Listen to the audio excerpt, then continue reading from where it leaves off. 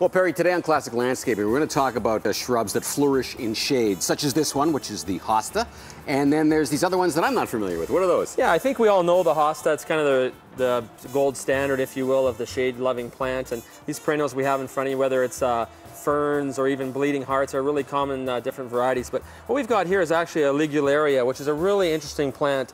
It uh, grows about two feet, two and a half feet tall, a couple feet wide, has really large you know, leaves that you can see here. Something quite different. They do really well in shade.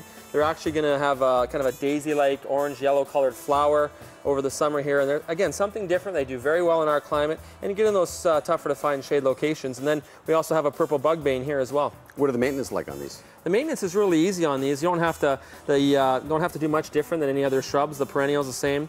Uh, these uh, the ligularia in front of us is going to like moisture soils. Same thing with the bugbane, and you'll see that a little bit more in shadier plants. They can handle a little bit wetter locations because they're not going to dry out as fast. This purple bugbane will actually get white panicles of flowers that are quite long and even six feet tall. So really nice plants. Okay, one of those plants I guess you have to be really careful about where you plant it though. Huh? Exactly right. Yeah. Okay.